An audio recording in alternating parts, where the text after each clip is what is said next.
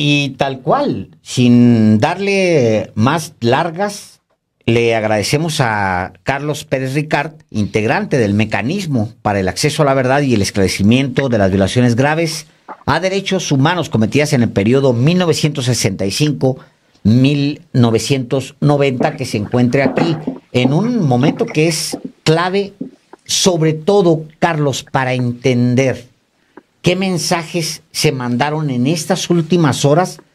Todos los mensajes con mucho contenido. Gracias por estar aquí. Bueno, gracias eh, Álvaro, Alejandro. Ustedes nos han seguido no de hoy, sino de hace dos años, cuando nos conformamos como comisión. La primera entrevista que, que tuve bien dar, apenas nos nombraron como comisionado, fue con ustedes. Nos han acompañado en todo el proceso. Hace dos meses publicamos, en agosto publicamos, hace mes y medio publicamos un reporte sobre los archivos del CISEN y cómo nos estaban dando los archivos del CISEN. Y ahora les agradezco que nos acompañen acá cuando estamos eh, presentando un reporte eh, relacionado a la manipulación, alteración de documentos de la Secretaría de la Defensa Nacional que tienen que ver con la Comisión de la Verdad.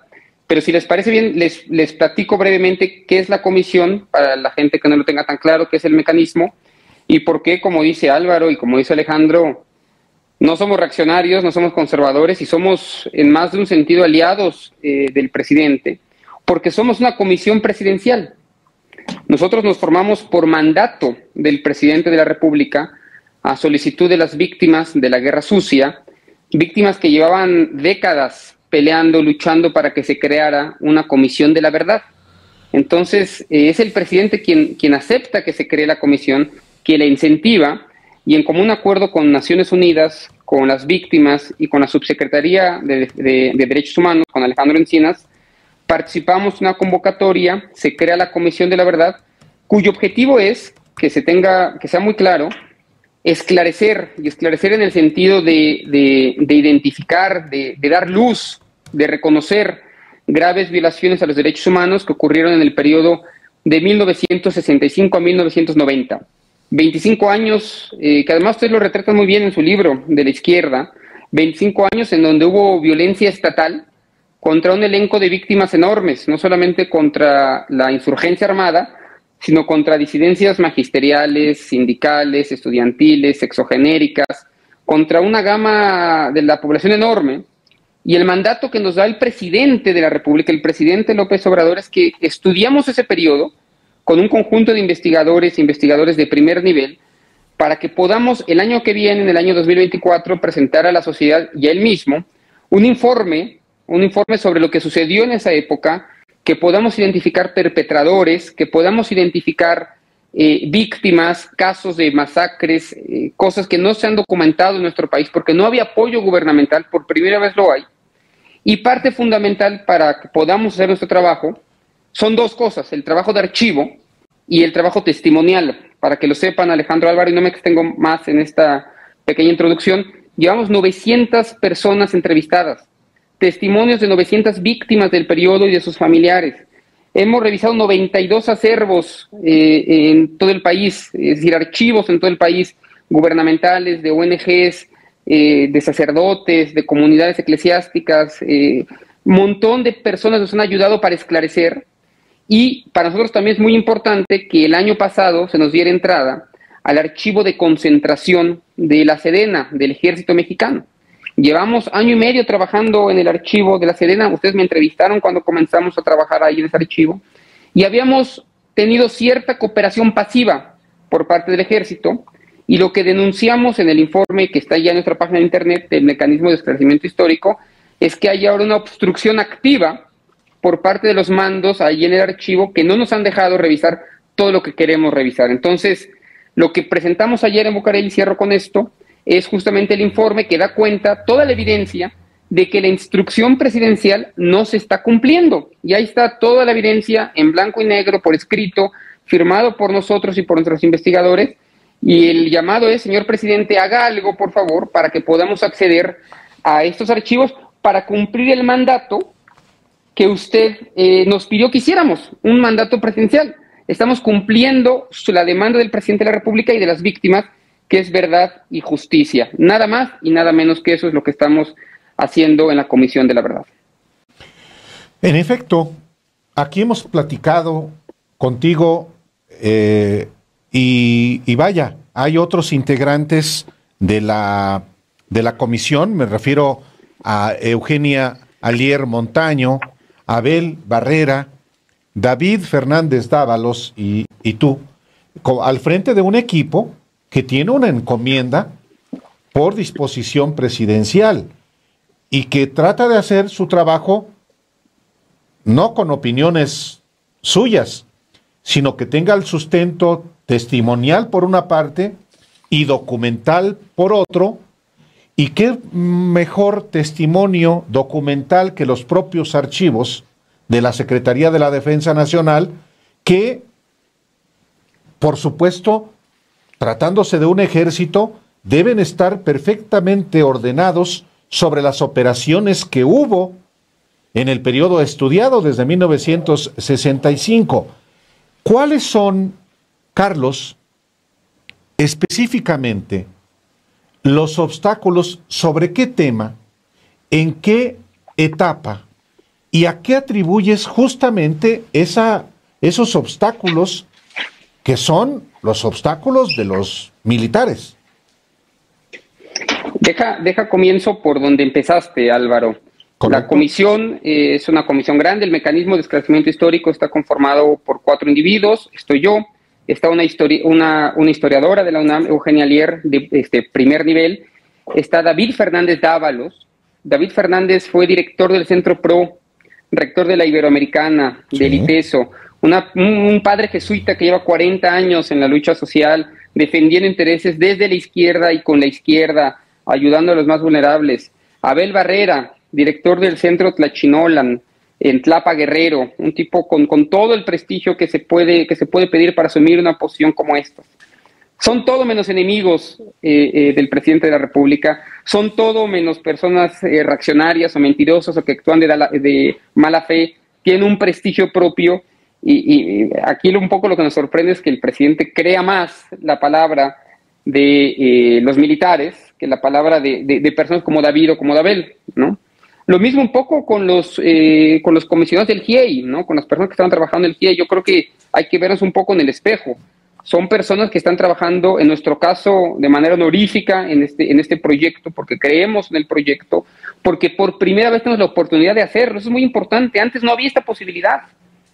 Es un mandato del propio presidente de la República, ¿no?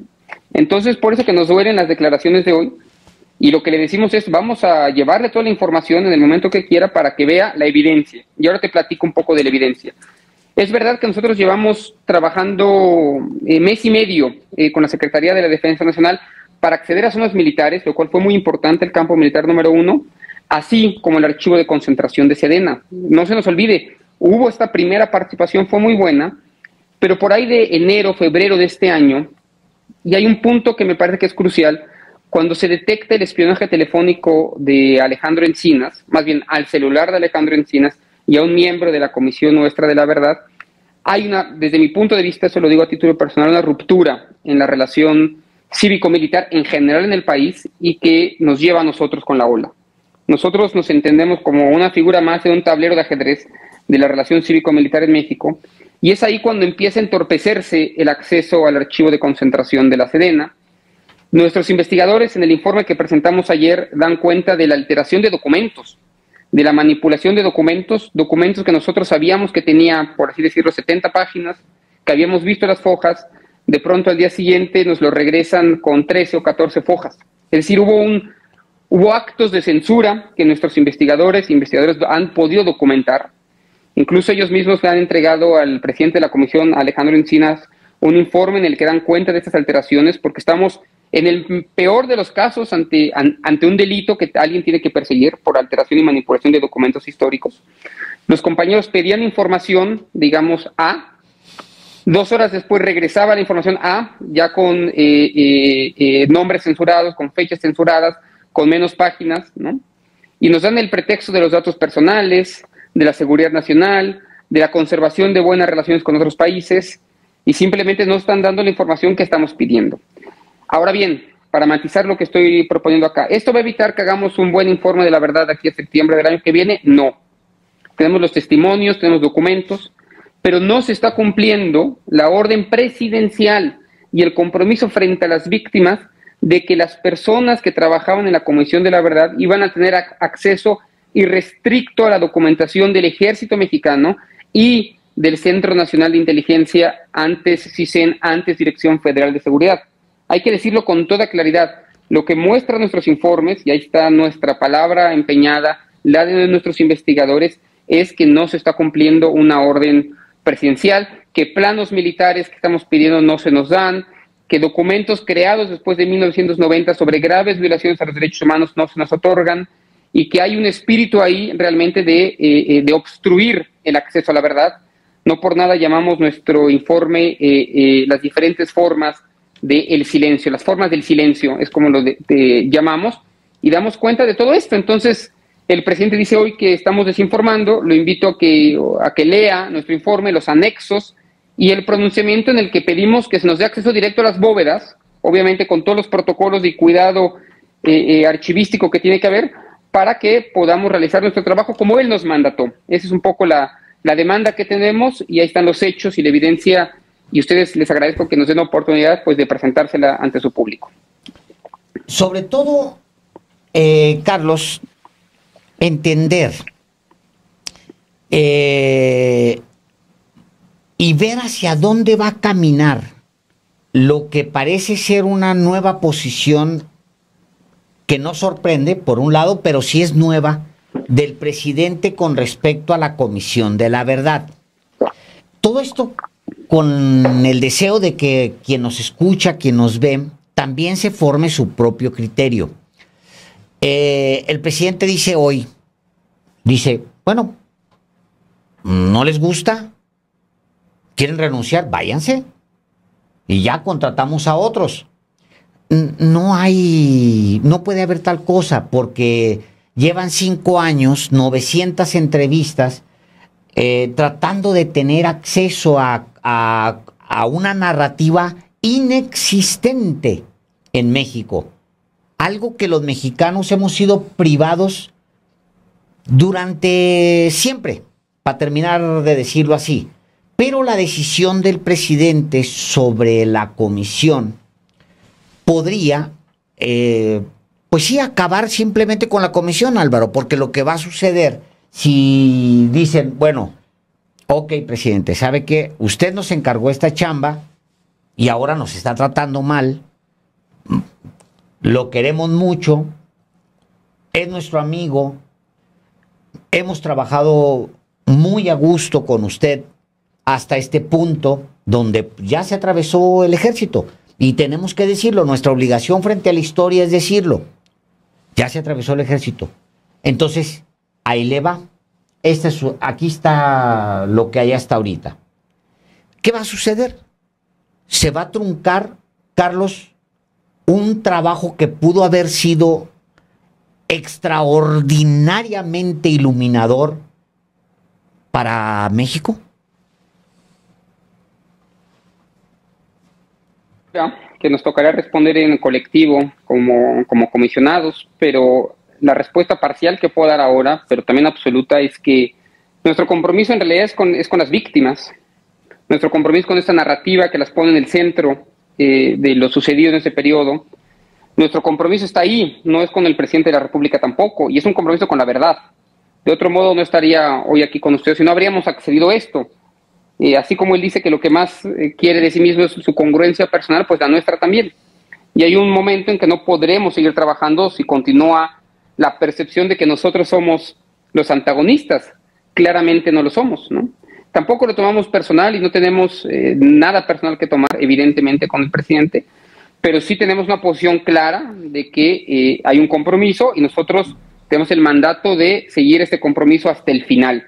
Y eso intentaremos, insisto, los archivos militares y los archivos del CNI y un, y otro tema que un día ojalá podamos abordar, los archivos del Estado Mayor Presidencial que no hemos podido ver, siendo el Estado Mayor Presidencial uno de los centros también del autoritarismo eh, en el país son muy importantes, pero tampoco van a evitar que podamos salir en septiembre del año que viene con un informe en el que tengamos eh, perpetradores identificados, en el que tengamos claro el funcionamiento de las redes de represión y de autoritarismo, en el que tengamos claro también eh, el alcance de las graves violaciones a los derechos humanos que hubo en ese periodo.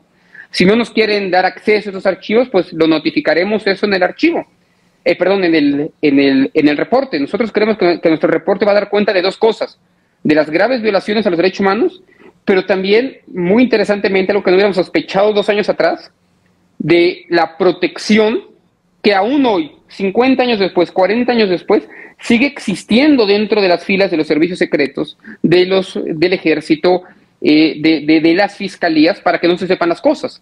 Entonces, estos reportes que estamos sacando, los tres que sacamos alrededor del CNI y este ahora alrededor de la Serena, pues también son en sí mismos hallazgos, porque dan cuenta de cómo siguen eh, perprechadas las instituciones y no permiten que alcancemos, eh, imagínense si en Ayotzinapa es tan complicado, imagínate tú lo complicadísimo que es ya pensar el periodo 65-90. Entonces, nada más para responder brevemente, muchos de nosotros simpatizamos con el presidente, muchos de nosotros simpatizamos con muchas de las premisas del presidente, pero en este punto no podemos sino detenernos y decir, esto es más importante que cualquier cosa, porque la causa final no es ganar una elección presidencial. La causa final no es quedar bien con el militar en turno para que te construya el aeropuerto o el ferrocarril. La causa es la causa que llevan las doñas desde los años 70 gritándole al presidente Echeverría, verdad y justicia frente a las víctimas de ese momento y a eso nos atenemos y en eso seguiremos luchando las cuatro personas comisionadas y su grupo de investigadores.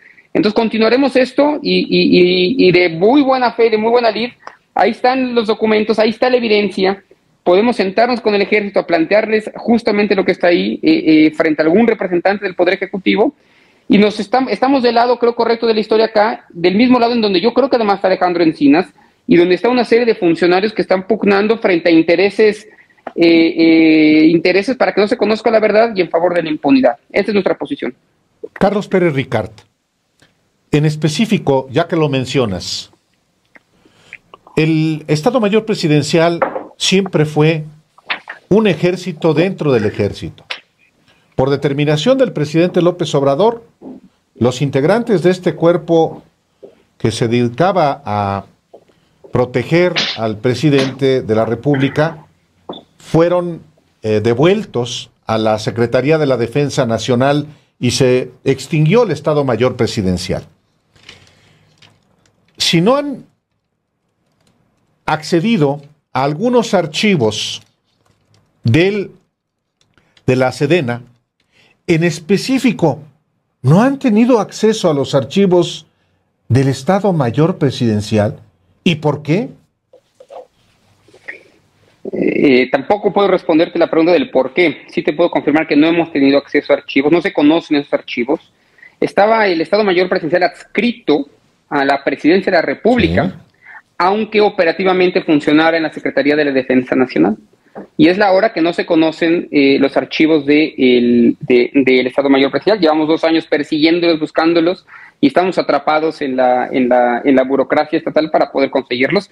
Y así tenemos en turno 14, 12, 12 diferentes archivos, los cuales seguimos buscando, digamos, en, en, cajas eh, a lo largo de, de, todo, de, de toda la Ciudad de México y no tenemos acceso. Hemos encontrado otras cosas, el archivo de la Policía de la Ciudad de México, de la Fiscalía de la Ciudad de México.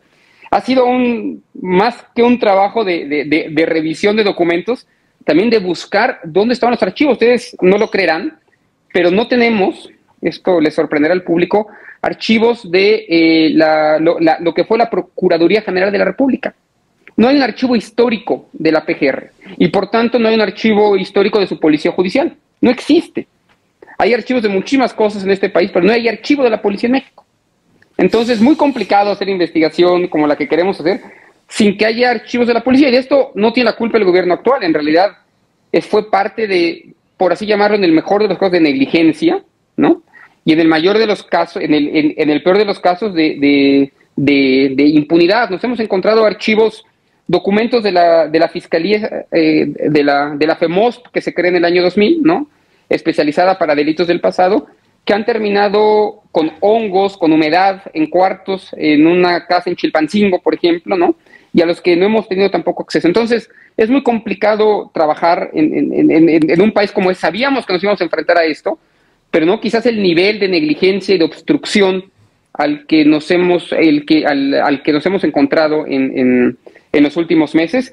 Y ante eso lo que decidimos es eh, no esperarnos a septiembre del 24 a decir, miren, no llegaron estas cosas, sino aprovechar medios como estos y, publicar los reportes con, nombre, apellido, fecha, lugar, en donde damos cuenta de eh, las obstrucciones que hay para llegar a la verdad. Y lo seguiremos haciendo mientras, mientras nos lo permitan. Porque no quiero usar del tiempo y sabemos perfectamente que tenemos ya nada más unos minutos antes de que salgas corriendo a otro compromiso. Eh, la mejor referencia es que este informe que ustedes están preparando era lo que gritó la izquierda durante los últimos, en el particular este informe, los últimos 50 años.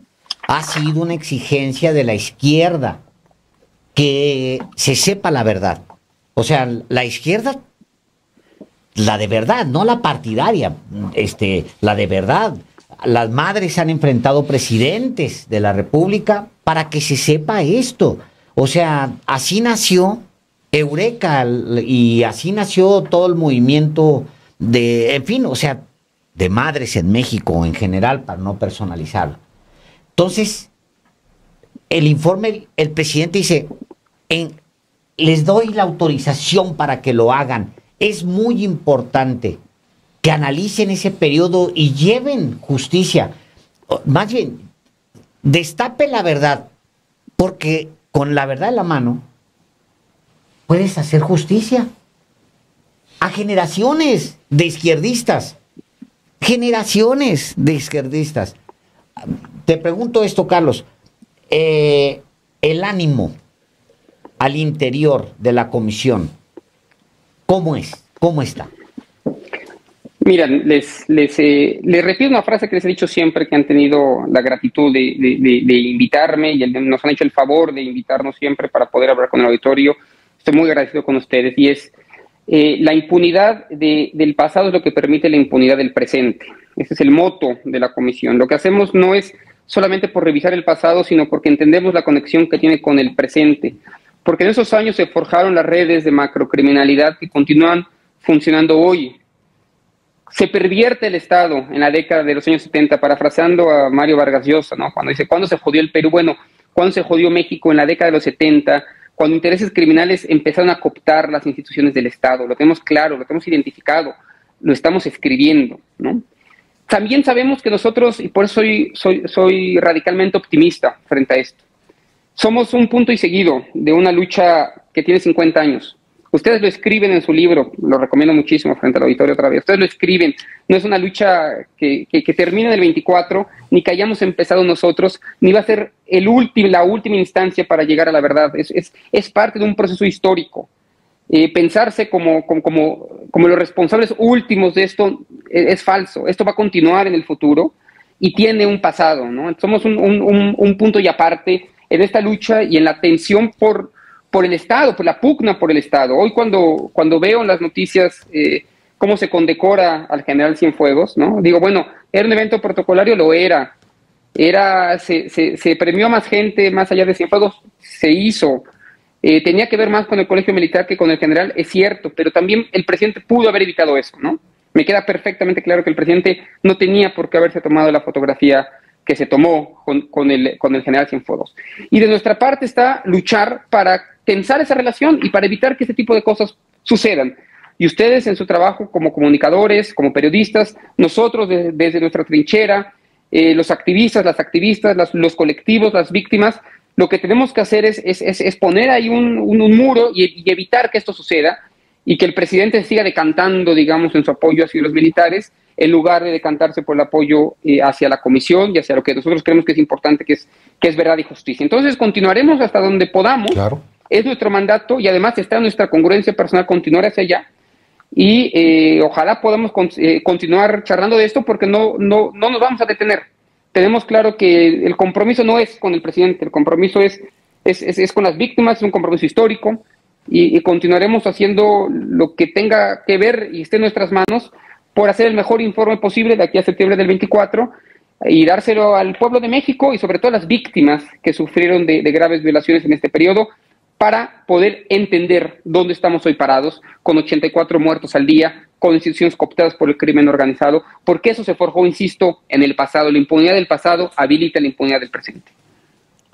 Carlos Pérez Ricard, integrante de la Comisión para la Verdad o el mecanismo de la Comisión de la Verdad, muchísimas gracias y vamos a seguir seguramente platicando en este espacio que es tu casa sobre este trabajo tan relevante que están haciendo. Muchísimas gracias hoy. Continuaremos siempre platicando. Muchas gracias Álvaro, Alejandro, les mando un gran abrazo. Gracias. Gracias.